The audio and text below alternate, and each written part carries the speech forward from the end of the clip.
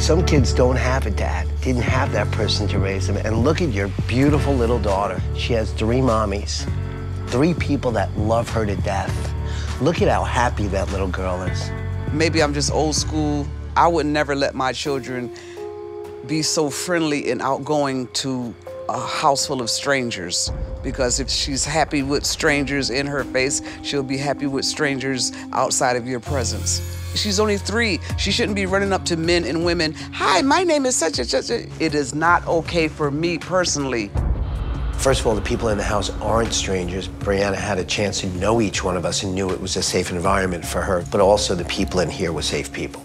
So, you know, Sister Patterson had her own opinions. Did I think it was good timing? Absolutely not. It was probably the worst timing you could have possibly had for a family that just went through what they did.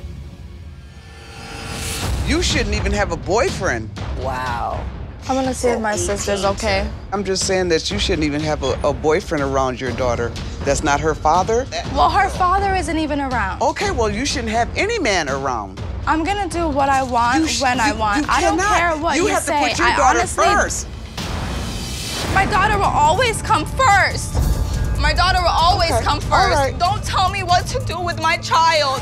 You're not gonna disrespect my motherhood. You're not. I'm and not I disrespecting. Like I feel like you're disrespecting me. What I'm just saying is you have a little girl. what you have you have a daughter, Okay, and you can't I have. have a daughter, and I'm gonna do what I want with my daughter. So if you keep telling me what to do or what not to do, I'm not gonna listen to you. Okay, all so right. whatever you're saying, you're wasting your breath.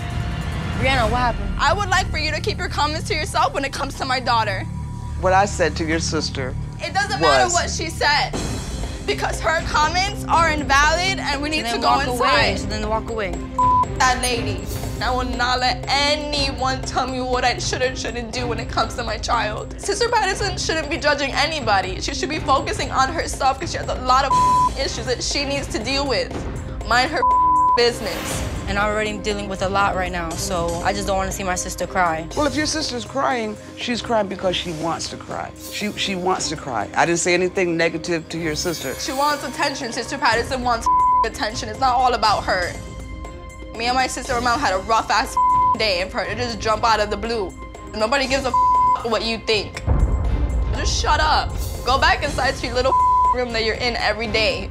Mind your business. Oh boy.